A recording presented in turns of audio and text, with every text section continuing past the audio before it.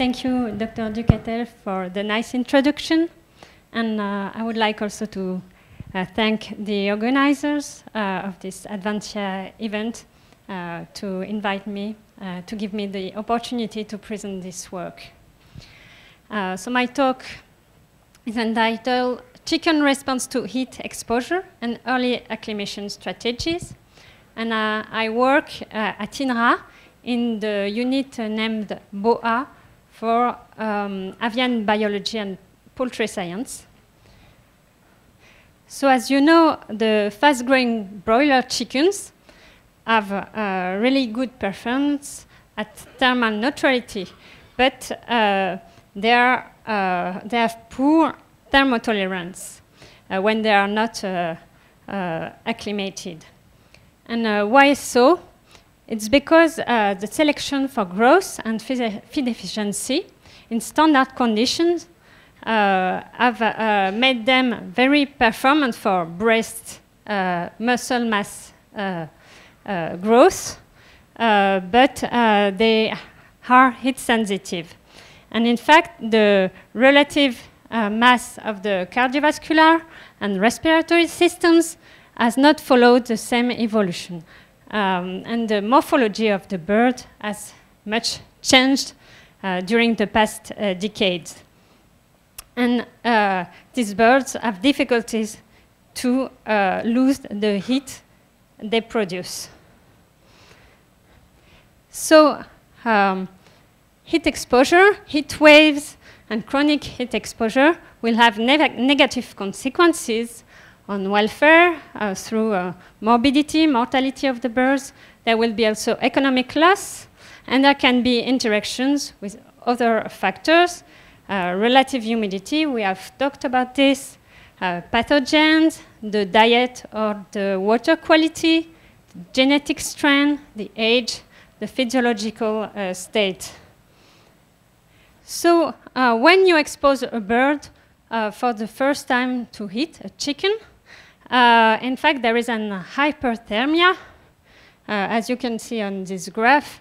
In fact, at 30 2 degrees, it is an exposure of two hours and a half.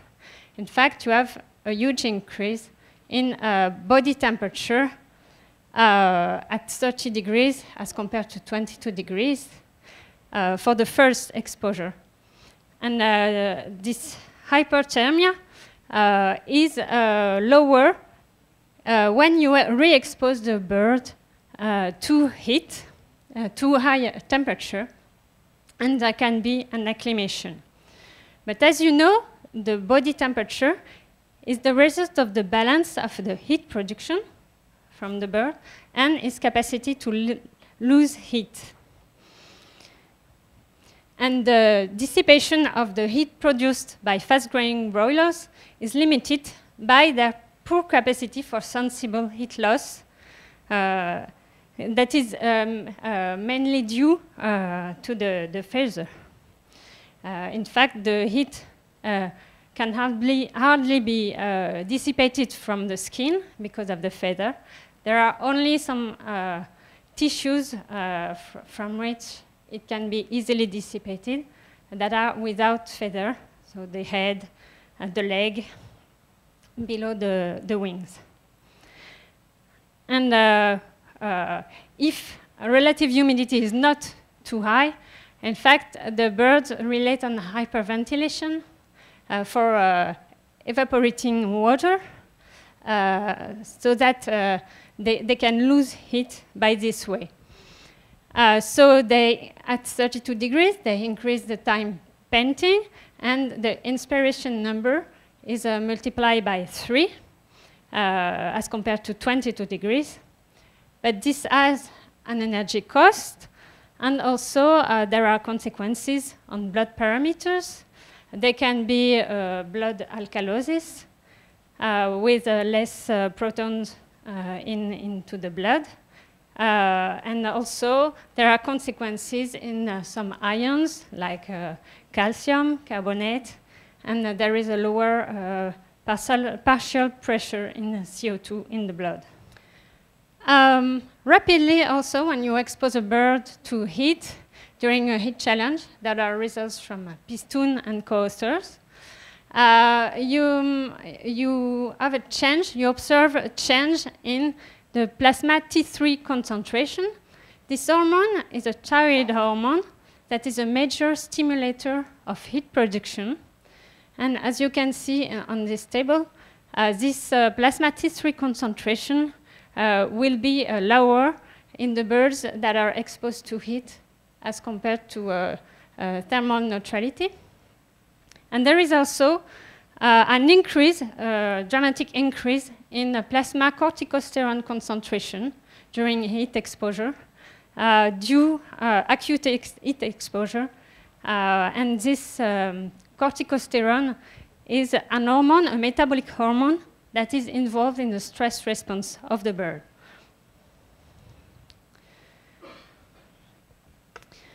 Um, a major consequence of uh, the heat exposure in the long term is the decrease in uh, feed intake uh, and in, uh, in uh, live weight gain, as was already said in previous talks. And um, there is a, um, a, dramatic effect on live weight gain when you go uh, up in temperature above uh, 26 degrees approximately, and uh, after above this temperature, you, also, you can also observe an increase in the uh, feed conversion ratio. Uh, during uh, um, chronic exposure to heat, uh, the, the consequences on feed, uh, feed intake and growth are, uh, impo are important, and that was shown uh, in 1996 uh, by uh, Pierre-André and co-authors. Um, they compared birds at 32 degrees ad libitum fed and 22 degrees, and they showed that there was a, a 25% decrease in feed intake, but a 40% decrease in uh, uh, body weight gain uh, in these conditions. But there were also changes in body composition with an increased fatness of the bird, reduced protein deposition, changes in plasma hormone and metabolite concentrations, and a lower heat production of the bird at 32 degrees, uh, mainly by uh, a decrease in uh, metabolic rate, basal metabolic rate. So one strategy that uh, uh, we studied at the lab uh, to increase the adaptive capacities of the, of the birds, to increase their uh, heat tolerance, while maintaining performance is uh, to uh, try to acclimate the bird as soon as possible in their life and to get uh, effects on the long term. So there were several strategies. Uh, one was to um, uh, try to acclimate chicks to heat very early. So these are results from uh, Yahav and McMurtry, and also uh, from INRA by De Basilio and co-authors. And uh, these groups um, worked on very early heat stimulation of the birds, and they got quite interesting results in the long term on, on uh, mortality for example, during a heat challenge. Uh, but the problem is here is to uh, heat uh, at a very high temperature the poultry house in an homogeneous way in order to uh, condition the, the chicks. So the other strategy was to uh, acclimate the birds in the incubator because it's really easier to do and to control properly. The idea, in fact, is to uh, act on the thermoregulation um, pathways. So as you know, uh, this is, there is a central control of uh, body temperature at the level uh, of the hypothalamus. And there are also endocrine signals through uh, the pituitary thyroid gland pathway and also adrenal um, uh, pathways. Uh, there, uh, there, are, uh, and in fact, this will regulate heat exchanges, heat production, heat loss, the behavior of the bird. And the idea here in uh, acclimating the bird very early, before the end of the first week of, of age, so here, during incubation, is to um, modify the, the threshold temperature uh, to which the system refers to in order to regulate temperature. So um, uh, before, uh, in fact, all, all the loop is, uh, is closed. So um, it took much time to, uh, um, to, uh, to optimize the temperature at which the stimulation, the heat stimulation, uh, had to be done during incubation, the duration of the stimulation, etc., and the temperature. Uh, so uh, this was also dependent on the ontogeny of the endocrine axis, so the, that regulates heat production and heat loss. And in fact, uh, for example, uh, there were trials on uh, uh, mid, only mid embryogenesis here that were not efficient in the long term. Um, there were also trials in the late embryogenesis. And here there is an interesting result from uh, Tona and co-authors. Tona worked in uh, uh, Leuven at the University, uh, Catholic University of Leuven. And he showed that the thermal manipulation of eggs induced a lower heat production of the eggs by, at the end of embryogenesis. So um, this suggested that the heat production, the metabolic rate of the, of the bird could be uh, affected by uh, this um, stimulation. But uh, unfortunately, uh, this uh, program had nice, um, well, induced nice, nice results in the short term, but not in the long term. So there were other experiments that uh, were uh, uh, that targeted more at the middle until the end of embryogenesis. So uh, here I will give you more details about these programs. Uh, it was uh, 12 hours a day or 24 hours a day at 39.5 degrees. And here the relative humidity was also quite high, uh, at 65 uh, percent instead of 56 in order not to dehydrate the eggs. And this from uh, day 7 to 16 of uh, incubation. And uh, in this case, in fact, if you do it uh, 12 hours a day, there is a recovery by the embryo be between stimulations, then the hatchability of the eggs are uh, not different from the controls. Anyway, if you do it continuously, it's, it uh, gives really, uh, really bad results because there is embryo uh, mortality.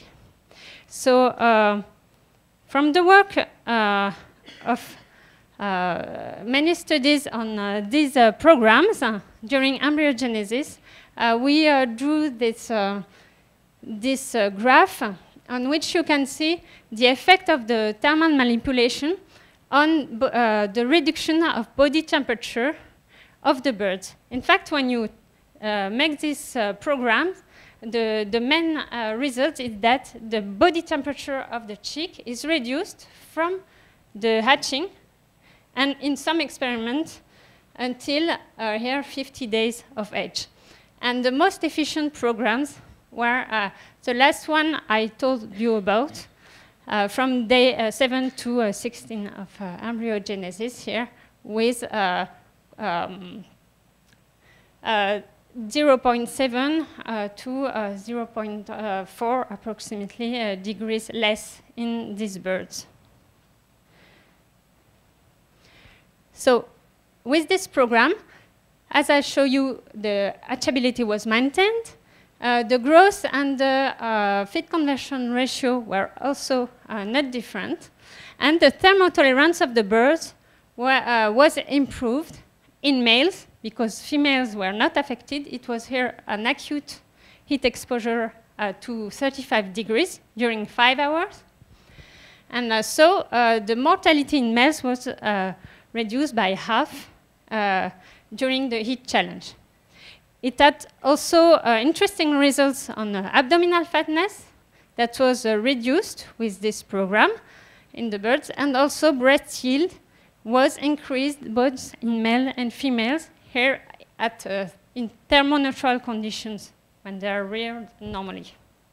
So on this model, with uh, cyclic uh, elevations of, uh, of uh, incubation temperature, and we tried to go further into the comprehension of the mechanisms that were involved in the better uh, thermotolerance of these birds. So we studied the birds until uh, 34 days of age, and at the end of the trial, uh, we divided the group in, in two.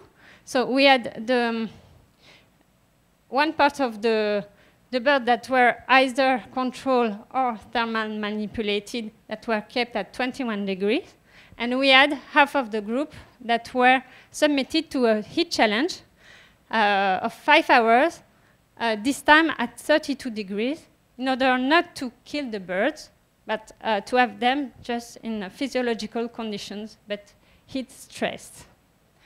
And so we uh, tried to study what were the physiological and metabolic mechanisms that were involved in the acquisition of embryo uh, acclimation.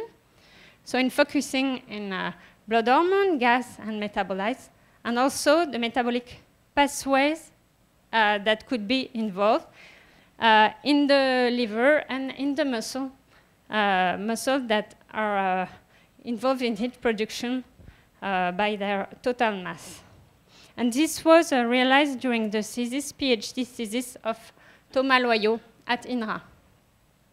So concerning our results, we could reproduce, reproduce the decrease in body temperature in the birds that were uh, thermal manipulated as compared to the uh, control ones in the clear blue here.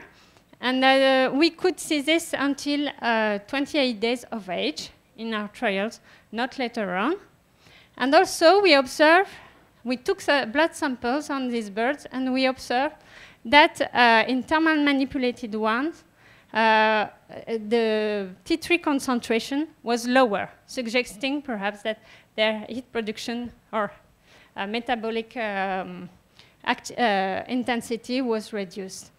Uh, as for the, the stress of these birds, we measured the heterophiles on lymphocyte ratio that you heard about already.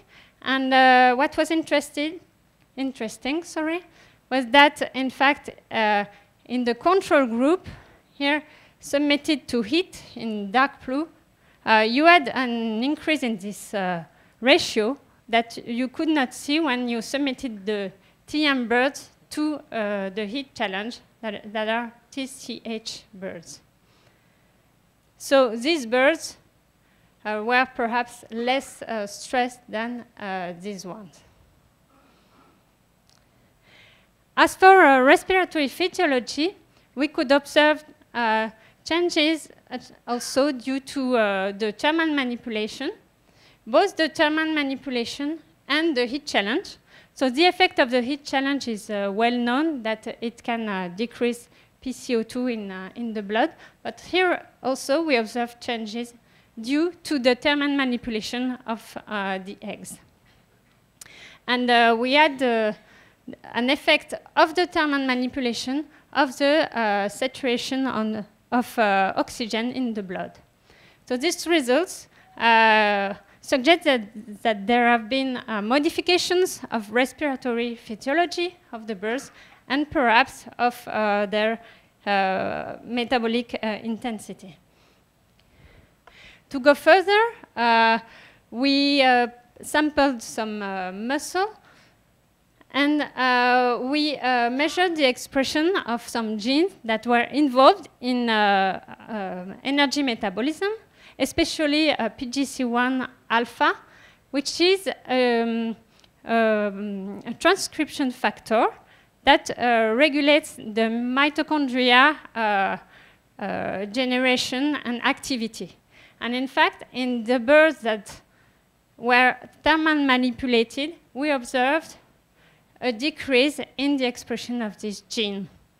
In the liver, we had also uh, results on the metabolic activity as shown by the reduced in TM group, uh, the reduction, sorry, of uh, citrate synthase activity, which is an enzyme of the Krebs cycle.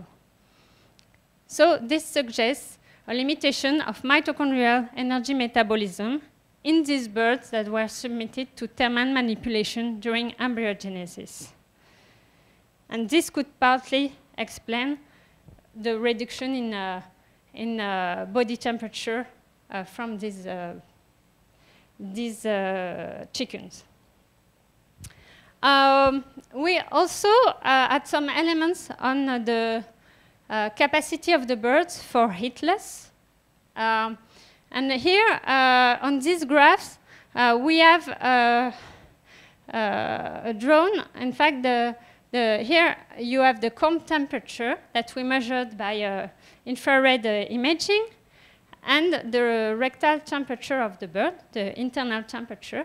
As a, and as you can see, when animals are at 21 degree here, it's uh, the, the graphs here, uh, you have a similar trend of uh, a correlation between uh, both temperatures uh, at thermal uh, neutrality.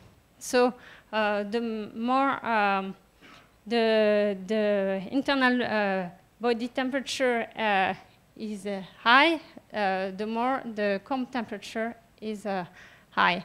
And in fact, when you put the animals under heat, exposure, uh, the two uh, populations don't react the same.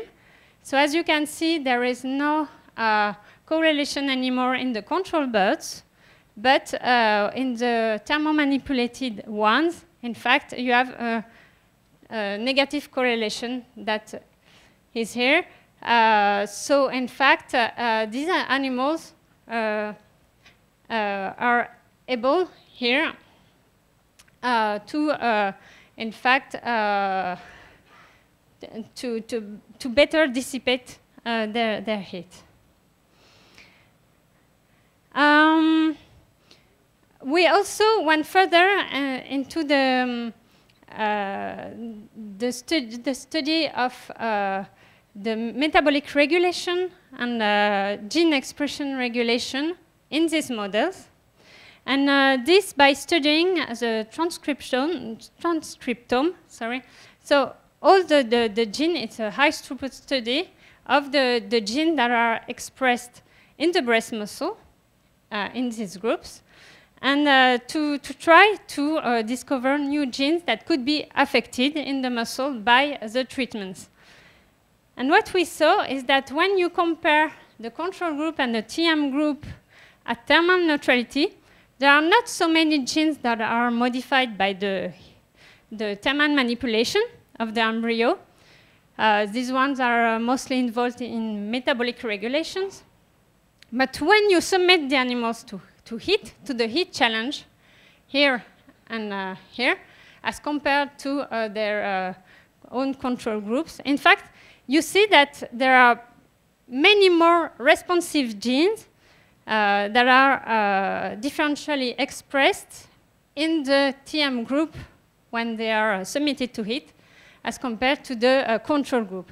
So, in fact, these birds are responding earlier or in an amplified manner to heat when they are uh, uh, exposed again to heat. So uh, they are somewhat prepared to respond to heat later on at the end of the finisher period.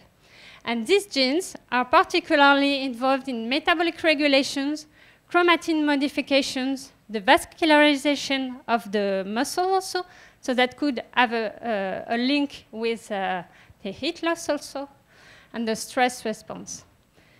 And then we went further in uh, unraveling the, the, mechanisms that are behind this by studying uh, if there were epigenetic changes related to this response. In fact, epigenetic changes are uh, changes in phenotype and gene expression that are, uh, in fact, uh, uh, that can be transmitted to uh, uh, to um, the next generation by um, mitosis and uh, sometimes also through the generation of animals. And, but that can be reversible. So it's not genetic, it's epigenetic. And this is related, for example, to changes uh, chemical changes on the DNA. So uh, here, uh, the methylation of uh, cytosine bases on DNA, or also to changes in the proteins on which DNA is wrapped. And this will uh, open or close um, the, in fact, uh, the, the, the, chromatin, the, the way the DNA is, uh, is um, wrapped, and it will open or not the DNA for uh, transcription and then gene expression. So we studied some uh, modifications of this protein, histones, uh, in uh, our model. So just uh, in the animals that were uh, controlled or thermal manipulated, but at thermal neutrality, so at 21 degree.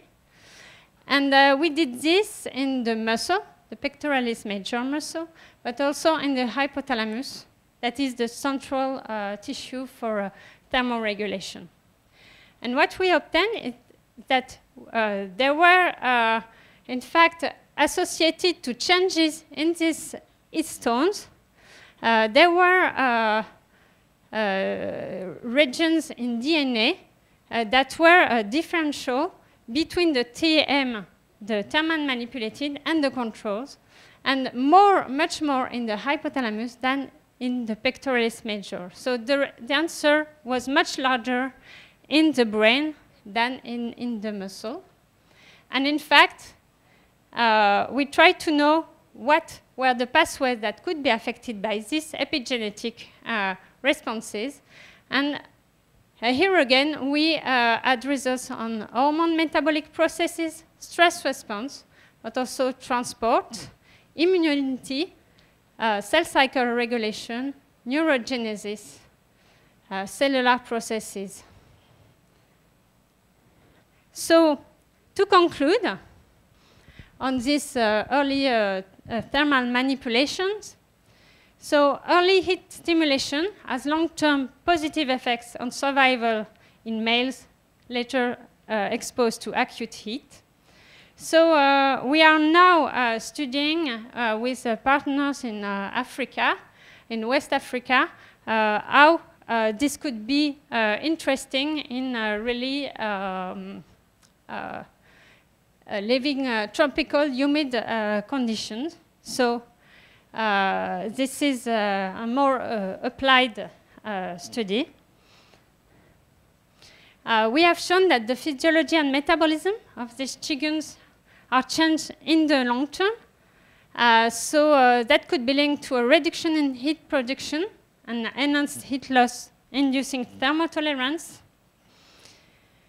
There are also modifications in hypothalamic DNA methylation and histone post-translational modifications. So these epigenetic mechanisms I told you about. Uh, and this uh, could uh, regulate gene expression in our models. So now the question is to know if we can transfer this to the progeny. Uh, and we have experiments on quails running uh, to see if uh, the, this treatment applied on eggs in a first generation can have effects on thermotolerance in the, and these mechanisms in the next generation up to uh, uh, down to four generations. And uh, so is it possible to increase the bird adaptive capacities?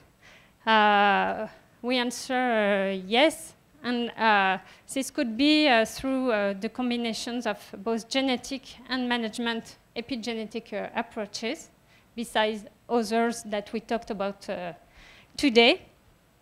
And uh, we have also to have a look to all performance parameters, including economic, environmental, and social parameters, and including also work on meat quality and other performance data. So I have finished now, and I wish to thank all the teams involved in this work. Thank you.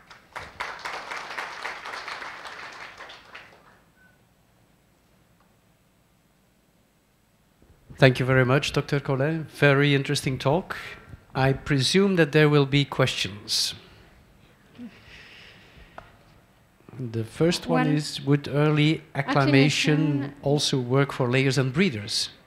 Well, uh, this is a good question because, uh, for example, for breeders, if we could treat the breeders and not the terminal uh, crossings, it would be less animals to treat in the incubators, etc. Uh, in fact, we mm, uh, we, we plan to, to do uh, such uh, experiments, and we, we also uh, work on, uh, on the quails. Um, in fact, for the, the layers, there have not been studies with the same um, manipulation that we, we did, but during late embryogenesis. And this was not so convincing. But obviously, uh, it's, uh, it would be interesting to go further in, into the, um, these studies on layers. And uh, in fact, in quails, these birds are, um, well, it's another model, but they are laying, and uh, then we, we will uh, also study uh, the performance parameters on egg laying, etc. Dr. Collin, there is a question there as yes. to, um, you know, in what breed did you do your first experiments? In, in, and does it, can you immediately transfer this to, say, our traditional commercial breeds which are, which are used in practice mostly? In fact, um, it, it could be uh, applied uh, quite easily because uh, uh it's only uh, up to 39.5 degrees and 65% uh, uh, relative humidity, uh, 12 hours a day. but um, it's a it's a risk for the um, you know for the hatchery to to try this. So we we plan also to uh, to make uh, trials uh, with commercial hatcheries. but I know I, I have been talking with Brazilian um, colleagues and they said that uh, in Brazil, uh, there were the hatchery, commercial hatchery, uh, were experimenting such, not perhaps not exactly the same thermal manipulation, but it was something they were experiencing already. So.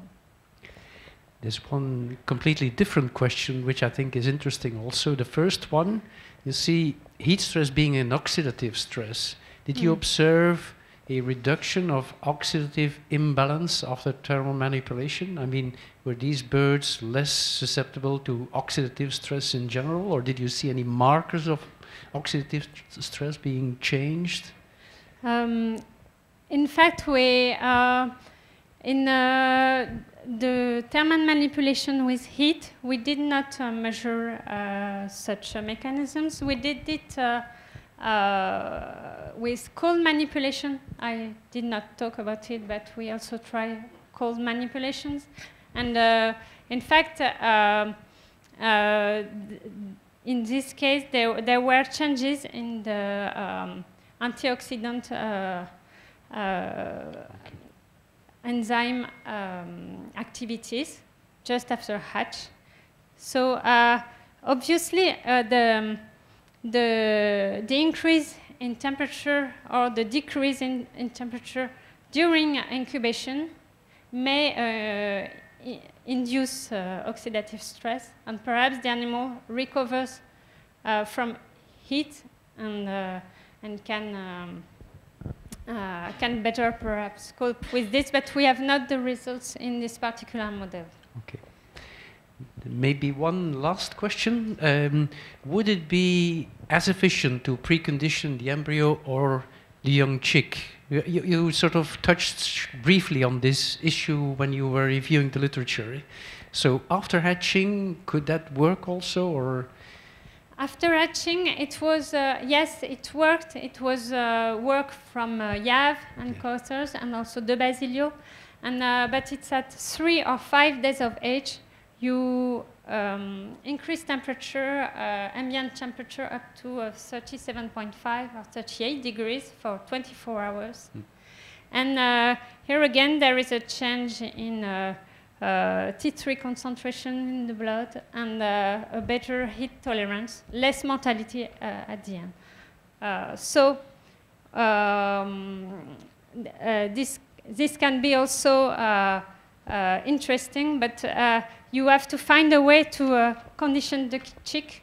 So I, I know that in Venezuela they have tried some systems with smaller artificial chambers. Well, with uh, walls to, uh, to have an homogeneous uh, temperature on the chicks to, to try to get the effect on the long term.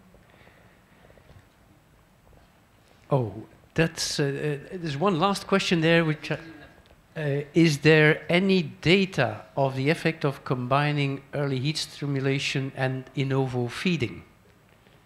Ah, uh, uh, for the moment, we have not experienced this, but uh, uh, in fact, uh, in ovo feeding, yes, it's also uh, another way to uh, change the um, well the uh, here the nutrient content mm -hmm. of the egg uh, that could be uh, easily applied uh, at the same time at, during late embryogenesis at E18, for example, when at the time when, when vaccines are, are, used. There have been worked also from Uni in Israel about this and other groups. And it could be, yes, we, we could try to combine to get benefits from uh, for example, uh, energy uh, or uh, micronutrients in the egg from the beginning to help the, the chick, the later chick and chicken to, to cope with environmental change or increased robustness of the bird.